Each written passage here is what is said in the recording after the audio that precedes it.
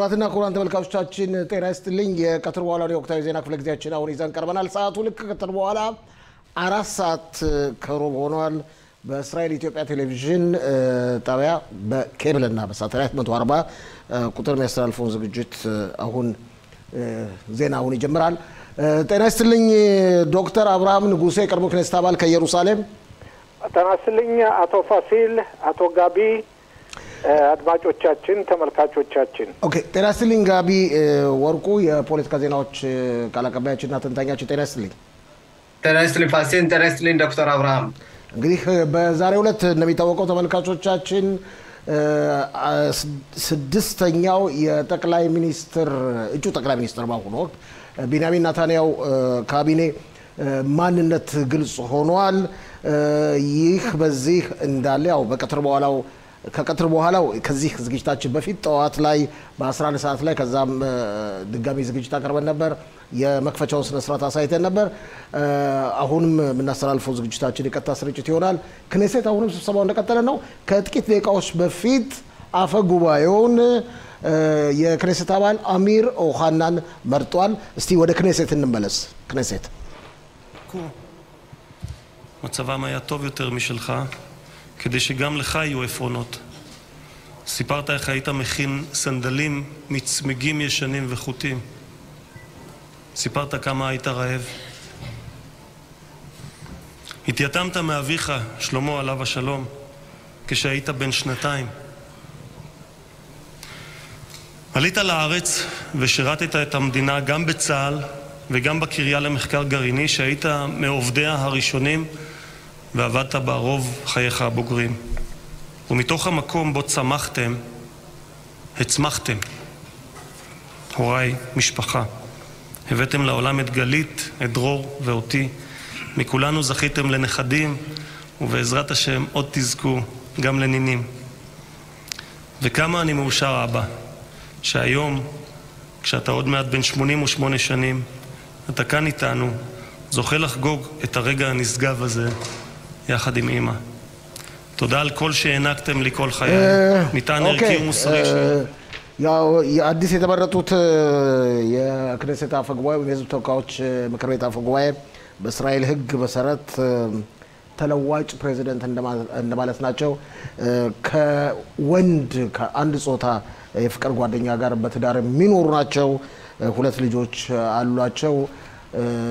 እንግዲህ ወላጆቻቸው ነበር አሁን ሲያመሰግኑ የሰማነው። በእስራኤል ታሪክ ለመጀመሪያ ጊዜ ነው የስልጣን በዚህ አይነት ደረጃ ሲሰጥ።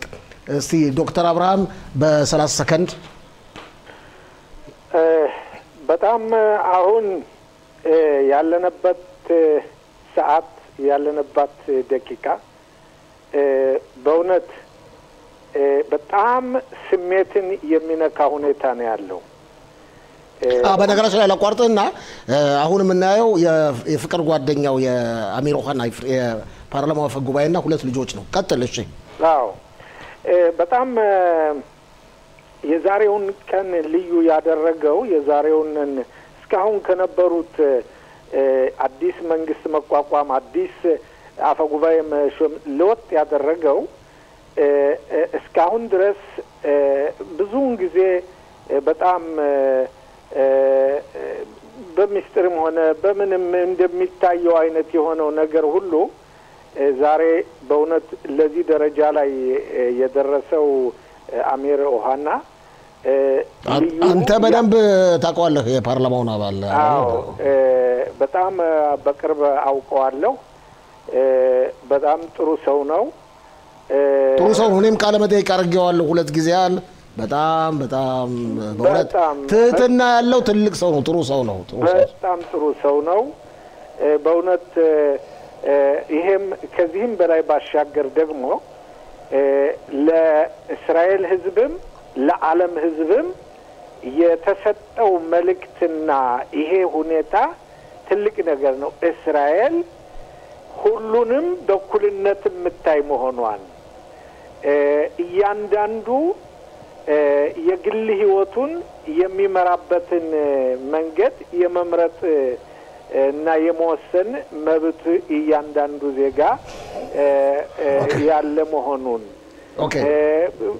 እስቲ በነገራችን ላይ ወደ ጋቢ ከማለፌ በፊት ወደ ውስጥ ከመግባታችን በፊት እንደው በአምስት ሰከንድ የክኔሴት ወይም የህዝብ ተወካዮች ምክር ቤት አፈ ጉባኤ በእስራኤል ትልቅ ስልጣን ነው አይደለ? በቦታው ስለምታውቀው። በጣም ትልቅ ስልጣን ነው። ምክንያቱም አንደኛ ፕሬዚዳንቱ በሌሉበት ጊዜ በሀገሪቱ ፕሬዚዳንቱን ወክሎ ፕሬዚዳንት መሆን የሚለውጥ ነው። በሁለተኛ ደረጃ የእስራኤል ነጻነትን በየአመቱ የሚከበረውንን የሚከፈተውና የሚመራው በክነሴቱ አፈ ጉባኤ ነው። ይሄ በጣም ትልቅ እንትን ነው። ሌላው ነገር ደግሞ ያው ኑሮ ኑሮ በመሬት ዝሮ ዝሮ ከቤት እንደሚባለው ሁሉ በኋላም ደግሞ ይህ ዓለም ሲያልፍ ፕሬዚዳንቶች፣ ጠቅላይ ሚኒስትሮች እነሱ ከሚቀበሩበት ቦታ ነው የአፈ ጉባኤው የክነሴቱ ሊቀመንበር ባለቤቱም ሆነ እሱ መቀበር የሚቻለው ማለት ነው። ስለዚህ ይሄ ስልጣኑ በጣም ከፍተኛ ስልጣን ነው። እዚህ okay፣ እስቲ ወደ ጋቢ ልለፍና ጋቢ አንተም ያው ክኔሴት በወቅቱ ስራ ስለነበር ከዶክተር አብርሃም ጋር የክኔሴት አባልና አፈ ጉባኤውን አሚር ኦሃናን በደንብ ታውቃለህ። አሚር ኦሃና ዝም ብለው እንደገና ተራ ሰው አይደሉም። በወጣትነታቸው ብዙ አገልግሎት ለሀገሪቱ ያበረከቱ ናቸው። የሀገር ውስጥ የህዝብ ደህንነት ሻባክ አባል የነበሩ ወታደር በነበሩበት ጊዜ ሻምበል ማዕረግ ድረስ የደረሱ እና ናቸው አይደለም?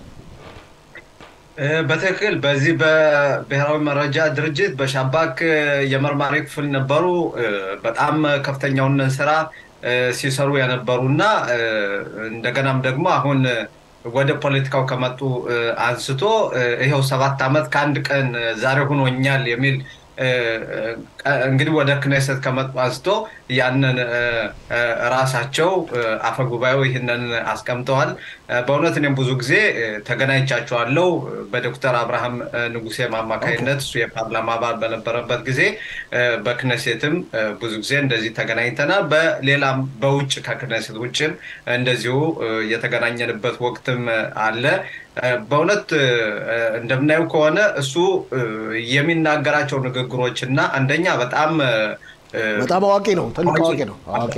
አዋቂም አዋቂም ነው በንግግሩም በሁሉም ሕግም በተመለከተም እሱም የሕግ ጠበቃም ስለነበረ እና የሕግ ጠበቃም ነው። ሌላም ደግሞ ስነ ጽሁፍን መጻፍ ይችላል። በክነሴት በተለይ አንዳንድ ንግግር በአሰሙበት ጊዜ የስነ ጽሁፍ አቅርበው ደግሞ ብዙ በግጥም አንዳንድ ነገሮችን የገለጹበት ሁኔታም ነበረ። በአጠቃላይ በምናይበት ጊዜ መጣኝ ነው ለዚህ ሁኔታ። እንደገና ለአሁን ላለው ለፖለቲካው ሁኔታ በጣም ጥሩ ሁኔታ ነው የሚያሳይ። ሰፋ ያለ ጊዜ የሚኖረን በምሽቱ የወቅታዊ ዜና ክፍለ ጊዜ ይሆናል። በሰፊው በኋላ እንነጋገርበታለን። በተሻለ መጠን አጠር አጠር አድርጋችሁ እንድትመልሱልኝ እፈልጋለሁ። ዶክተር አብርሃም እዚህ ላይ በ11 ሰዓት ጠዋት በቀጥታ ስርጭታችን የተለያዩ ችግሮች ተፈጥረዋል ባልተሾሙት ሚኒስትሮች መካከል የሚል አስተያየቶች በየቦታው በየዜና መሰራጫዎች ሲሰነዘሩ ነበር። እንደ ገባኝ ከሆነ አሁን በተደረገው ድምፅ መስጠት ስነስርዓት ላይ 63 ደግፈዋል። እንግዲህ በአጠቃላይ ከዛ በፊት 64 የካቢኔው ደጋፊ ናቸው ሲባል ነበር። አምስት ድምፅ ሳይሰጡ ቀርተዋል የሚባል ዜና እንደው ጭልፍ ብሎ የሰማው ይመስለኛል። እስቲ የምታውቀው ነገር ካለ በመሰረቱ እኔ የድምፁ አሰጣጥ ሂደት እነማን ደገፉ እነማን ተቃወሙ የማውቀው ነገር የለም። ምክንያቱም ድምፁ የተሰጠው በኤሌክትሮኒክ ነው እንጂ በስም እየተጠራ ስለዚህ አንዱ አንዱ ስልሳ አራተኛው ማን እንደሆነ አታውቅም ማለት ነው። ገባኝ። okay እንግዲህ ስልሳ አራተኛው ማንኛው እንደሆነ መገመት የሚያቅት አይመስለኝም። ግን ሊሆን የሚችለው ምናልባት ከሃይማኖተኛ ክፍሎች ሊሆን ይችላል ሊሆን ይችላል ሊሆን ይችላል። ግምት ነው የምለው። ግን ቢሆንም ሃይማኖተኞችም በነገሩ አምነውበት መጀመሪያ ቢንያሚን ነተንያሁ ንግግር ሲከፍቱ ጠዋት በአስራ አንድ ተኩል ላይ የእሱን ስምና የአብሮ የሚኖረውን የፍቅር ጓደኛ የፍቅር ጓደኛውንን ስም መጥቀሳቸው እና ማንሳታቸው ስለዚህ የሃይማኖት እንትኖች ይሄ አክራሪዎች ክፍል የነሱነን እነሱም የተቀበሉት ለመሆኑ ለማረጋገጥ ነበረ። okay ይኸውልህ እዚህ ላይ እንደዚህ እናድርግ። ጊዜያችን እያለቀ ነው ዶክተር ምናልባት ምናልባት እርግጠኛ መሆን አይቻልም። ከሃይማኖተኞች ስልህ ከሀረዲሞች ውስጥ አይመስለኝም። okay ግልጽ ነው ግልጽ ነው። እዚህ ላይ መጨረሻ ሰላሳ ሰከንድ ጊዜ ልስጥህና አርባ አምስት ሰከንድ ያለው ችግር ሁሉ እነዚህ ሹመቱን ባልተቀበሉት መካከል ተፈጥሮ የነበረው ችግር ተፈታ ወይስ አሁንም ችግር እንዳለ ነው? እንደሚደርሱ መረጃዎች ከሆነ መናገር የምትፈልገው እና የምትችለው ካለ ባጭሩ። ብዙዎችን ነገሮች መናገር አይቻልም። ምክንያቱም ነገሮች አሁንም በውስጥ ብዙ ውይይቶች ያሉባቸው ናቸው። እስከማውቀው ድረስ ብዙም ለውጥ ነገር ያለ አይመስለኝም። ግን ለውጥ እንደሚሆን አቅጣጫ አለ። ለውጥ እንደሚኖር አቅጣጫ አለ። አዎ አንዳንድ አቅጣጫዎች አሉ። ለውጥ እንደሚኖር ማለትም ምናልባት ነገሮች ቆይተው የሚስተካከሉ መሆናቸውን ስለዚህ ይሄው አመለጠን አንድ ነገር ምንድን ነው ያመለጠን? okay ግድ የለም እንትኑ ነው ይሄ ምርጫው ሁኔታ መሰለኝ። okay ጊዜ የለንም፣ እናጠቃል። በኋላ ስለምንገናኝ በምሽቱ የወቅታዊ ዜና ክፍለ ጊዜያችን ስለምንገናኝ ሰፋ ያለ ውይይት ይኖረናል። እሺ አጠቃለሁ እዚህ ላይ ዶክተር አብርሃም እንግዲህ ያለው ሂደት ምንድን ነው? አሁን በዛሬው ዕለት ያው የተሰጡት ሚኒስትሮች ቃለ መሐላ ይፈጽማሉ። okay ከዚያ በኋላ ያልተሰጡት እስካሁንም ድረስ ድርድሩ እንደቀጠለ ነው። okay በቃ እዚህ ላይ እናቁም። እየቆየ እየተሻሻለ ሊሄድ የሚችል ነገር እሺ በሚቀጥለው የተወሰኑ ሰዓት ውስጥ በምናደርገው ቀረጻ አዲስ ነገር ካለ እንደምታቀርብልን ተስፋ አለኝ። ወደ ጋቢ ለማጠቃለያ ልመለስና ጊዜ ልስጥህ። አንተስ የደረሱ መረጃዎች አሉ? ያለው ተጨባጭ ሁኔታ እንዴት ነው? የተፈጠረው አለመግባባት